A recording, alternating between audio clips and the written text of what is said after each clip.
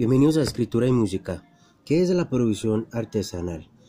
Esto para una empresa de o la producción artesanal de panes. ¿Cómo se da esta, este tipo de producción? Se da en espacios pequeños, espacios rudimentarios o espacios caseros, es decir, dentro de hogares. La elaboración se da de forma manual y mediante métodos tradicionales, es decir, sin maquinarias.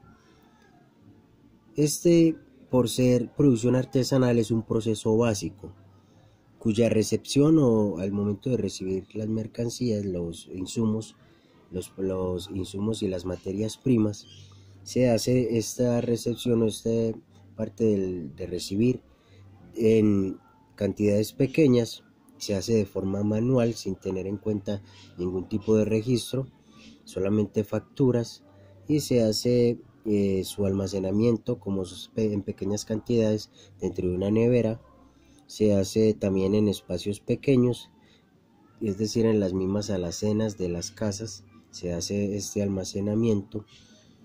El alistamiento, es decir, la parte de estar de, de de tener en la, en la mesa toda la, la parte de, eh, de las eh, materias o de los insumos para empezar a trabajar se hace con una gramera, con jarras, con cucharas y con tazos teniendo, con tazas teniendo en cuenta unidades de medidas como los gramos, las onzas, los mililitros y los kilogramos.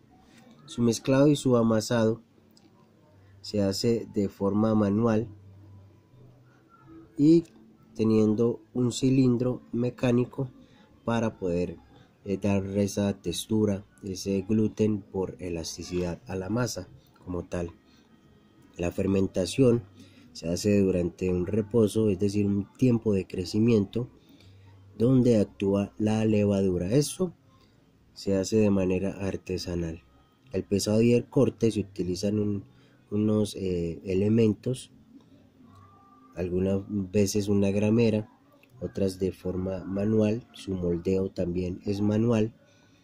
Y en la etapa final, que es el decorado del horneo y el empaque, y el empaque como tal, y aparece también entonces la distribución, se hace el decorado natural, muchas veces artificial, el horneo es convencional y el empaque es en bolsa sin etiqueta y mediante exhibición o eh, en vitrinas o algunas veces con un eh, vehículo pequeño puede ser en estos casos una moto o de manera en una bicicleta se reparten esto hace parte entonces de las de la producción artesanal digamos que son como todos los espacios todas las, eh, los procesos de los que se tiene que atravesar para estar desde la materia prima como tal hasta el producto terminal.